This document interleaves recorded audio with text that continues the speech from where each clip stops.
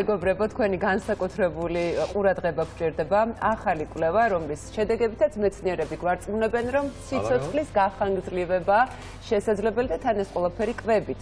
და თანაც არ აქვს მნიშვნელობა რა ასაკში დავიწყებთ ამ პროდუქტების მიღებას და საინტერესო ეფექტი ყველა ასაკში ერთნაირია თუ არა, ვინ გვეტყვის? თეო პირდაპირ გადავიდა და დავიწყო ჭამა. რომ რომელი შემოგთავაზ?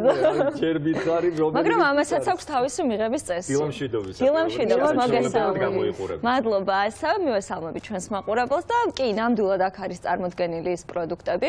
ყოველ შემთხვევაში ნაწილი იმ პროდუქტების, რომელთა მიღებაც მეცნიერების და საზოგადოებრივი კვლევის ექსპერტების აზრით სიცოცხლეს ახანგრძლივებს. ეს ორი პროდუქტი შეგვიძლია ცალკე გამოვყოთ, იმიტომ რომ მათივე თქმით, ცალკე არაფრის მომცემი არც იოგურტი და არც შვრიის ფანტელი, თუ მას არ დავუმატებთ არაქისის, თხილის ან ნუშის კარაქს. კარგი რა. კი ბატონო.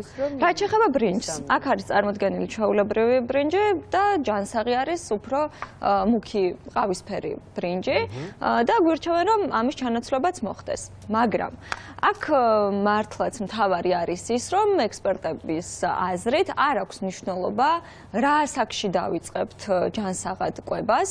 ამას არ შეიძლება ეწოდეს დიეტა, ვინაიდან მაღალი კვებითი ღირებულების საკვებს გვთავაზობს ეს რაციონი და არ აქვს მნიშვნელობა იმას, რამდენად არის junk food-ებით უსარგებლო საკვებით დატვირთული ჩვენი რაციონი. შედეგი ყველა ვარიანტში იქნება, იმიტომ რომ ეს აჩვენა 20 წლიანმა დაკვირვება. 20 წელი. კი ბატონო, 74000 ადამიანი მონაწილეობდა ამ კვლევაში, მათი ასაკი იყო 30-დან 75 წლამდე. და რა თქმა უნდა სხვადასხვა ასაკში სხვადასხვა შედეგი არის მიღებული და რაც უფრო ადრე დავიწყებთ თქვათ ჯანსაღად ყვებას, მით უფრო კარგი იქნება შედეგი. ეხლა რას გულისხმობს ეს ყველაფერი? თაკო, ჩაიწერე. თუ კი დღიურად მივიღებთ თურმე ერთ მუჭა ლობიოს მომზადებულს გულისხმობ, ასევე თხილს, ან ნუშს. ასევე მივიღებთ აი სპეციალური დამატკობლების ნაცვლად, თქვა თხილს მივიღებთ ტკბილეულის სახით. ზღვის პროდუქტებს უფრო მეტად ჩავრთავთ ჩვენს რაციონში. ჩვენი დღიური, ასე ვთქვათ, გამოჯანსაღებელი რაციონიც შედგება და ექსპერტები ამბობენ და თვითონ ამ კვლევის ავტორები ერთ-ერთი ჰარვარდის საზოგადოებრივი ჯანდაცვის მიმართულების და ასევე მადრიდის უნივერსიტეტის პროფესორია მერსედეს სოტო, რომელიც ამბობს, რომ ამ კვლევის უნიკალურობა მდგომარეობს ზუსტად იმაში, რომ არ არის აი ეს რაღაცა უცებ არ გადადიხარ სტრესული არ არის, მოკლედ უცებ არ იცვლი ცხოვრების წესს. ანუ ისეთი ისეთი ინგრედიენტი ინგრედიენტები ჩამოთვალე, რომ ხშირ შემთხვევაში ისინი ისედაც არსებობენ. ისედაც არის ჩვენს რაციონში. გამოიწვია ჩემი ინტერესი. აქ წარმოდგენილი პროდუქტებისგან და ასევე რომელიც ჩამოთვალე, ეს ყველაფერი ყოველდღიურ რეჟიმში უნდა შედიოდეს ჩვენი დღის რაციონში. რომელიმე მაინც უნდა შედიოდეს. რომელიმე მაინც. კი ბატონო, არ არის აუცილებელი თხილი ყოველდღიურად მივიღოთ, ან ლობიო ყოველდღიურად მივიღოთ, შეგვიძლია ოსპით ჩავანაცვლოთ, ბარდით ჩავანაცვლოთ, მაგრამ მეტნაკლებად უნდა იყოს დატვირთული ამ პროდუქტებით ჩვენი რაციონი. რაც შეეხება სიცოცხლის საშუალო ხანგრძლივობას, ეს თემა კარგად არის ნა კვლევი და წლებია უკვე ჩვენ ვიცით ქვეყნები. თუ რამდენია ამა თუ იმ ქვეყანაში სიცოცხლის საშუალო ხანგრძლივობა. და წლებია პირველობას არც ერთ ქვეყანას უთმობს იაპონია და სამხრეთი კორეა. ამ ქვეყნებში სიცოცხლის საშუალო ხანგრძლივობა არის 84 წელი. საკმაოდ დიდხანს ცხოვრობენ ადამიანები და რა თქმა უნდა სხვა ფაქტორებთან ერთად გულისხმობ გარემო პირობებს რა პირობებში ცხოვრობს როგორ წყალს მიირთმევს როგორია ჯანდაცვის სისტემა ამ ქვეყანაში. ერთ-ერთი რა თქმა უნდა ძირითადი შემადგენელი შემადგენელი კომპონენტი აუცილებლად არის კვება, როგორი კვებება ადამიანი. და ეკოლოგიური მდგომარეობაც. კი ბატონო, გარემო პირობები პირველ რიგში, რა თქმა უნდა.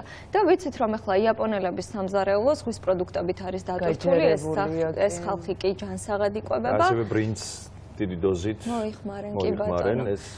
და აი ამაზე ორი ვთქვათ იაპონიის და სამხრეთ კორეის შემდეგ უკვე მოდის ევროპული ქვეყნები, ესენი ასე ვთქვათ ჯანდაცვის სისტემაზე დგას, იმიტომ რომ ეს არის შვეიცარია, ესპანეთი.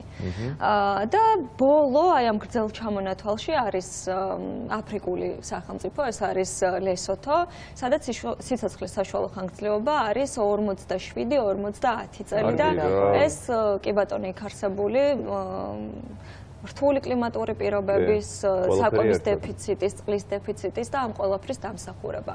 საინტერესო ალბათ საქართველოს ადგილიც ხო ამ ხო, ყველაფერში? ვარ? არც ისეთი კარგი მონაცემები არ გვაქვს, მაგრამ 93 ადგილზე არის საქართველო.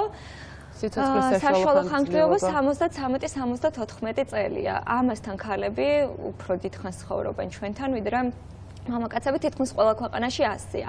მაგრამ ეს ყველაფერი მოკლედ მოვყევი რატო? იმიტომ რომ თუ კი კვლევის მიხედვით, აი 20 წლის ასაკში დავიწყებთ აი ამ კვებას, 14%-ით, სადღაც 11-13 წლით ხანგრძლივდება სიცოცხლე. საკმაოდ დიდი კი მაჩვენებელია. ბატონო, 60 წლის ასაკში თუ გადავწყვეტ რომ ეს კვება მივიღოთ მეცნიერების, აი აქ დიაგრამაც არის, მეცნიერების აზრით 9 წლით უფრო მეტ ხანს ვიცოცხლოთ გვაქვს შანსი და უკვე 80 წლის ასაკში, რა თქმა უნდა, ეს რიცხვი კიდევ უფრო მცირდება და 3-4 წელი არის ის ბენეფიტი, რასაც ჯანსაღი ცხოვრების ლობიო, ერთი მუჭა, თხილი, ნუში, ხილი, ზღვის პროდუქტები, რამე არის კიდე რაც აა, აქ ყოველ შემთხვევაში მეტი არაფერია წარმოდგენილი და კიდევ ერთი მნიშვნელოვანი ამბავი, რატომ ხანგრძლივდება სიცოცხლის ეს მაჩვენებელი ხო წლები?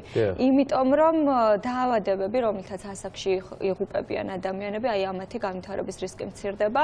ეს არის ერთადად კარდიოვასკულარული, ანუ გულსისხლძარღვთა დაავადებები, ქოლესტერინის რაოდენობა მცირდება და როდესაც ხარ ჯანსაღი, ჯანმრთელი ადამიანი, რა თქმა უნდა, უფრო დიდხან სიცოცხლე. თავისთავად და ხორცზე მინდა შევაჩერო ჩვენი ყურადღება, იმიტომ რომ საქართველო არის ერთ-ერთი ის ქვეყანა, სადაც ხორცის მოყვარულები ვცხოვრობთ, შეიძლება ითქვას.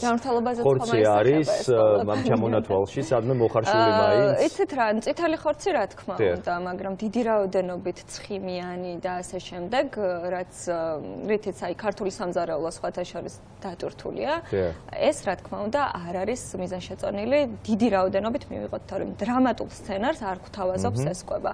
ყველაფერს წითელი ხორცის სარგებლიანობაზე ჩვენ არაერთხელ გვისაუბრია და ესეც მისაღებია. კი ბატონო.